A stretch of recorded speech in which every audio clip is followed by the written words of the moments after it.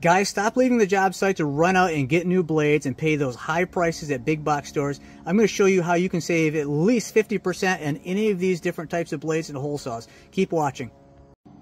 Okay, so this is a pretty beat up Diablo blade. I'm going to show you that you can resharpen these.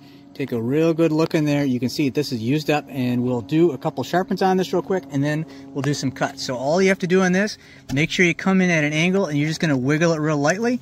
You'll line the grooves of this up with the little cutting blade you could see say on here. All right, let's go ahead and do this.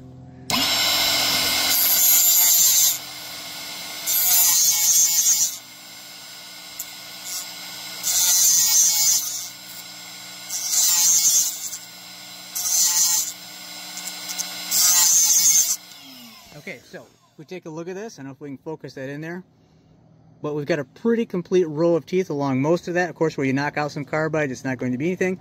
But let's go ahead and do a cut with this to show you that, in fact, these resharpened ones can work at least once, twice, maybe even more times when you uh, sharpen them up. Let's go ahead and cut.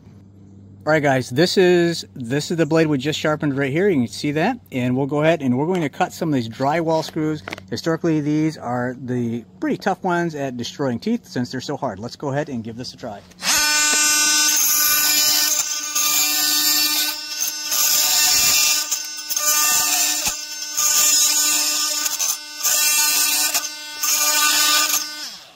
So there you go. And there are still some teeth left on there that you can still use. So you can totally resharpen these up and you can save a ton of money when it comes to sharpening the carbide blades. All right guys, it is super easy to save 50% of these in savings by resharpening these.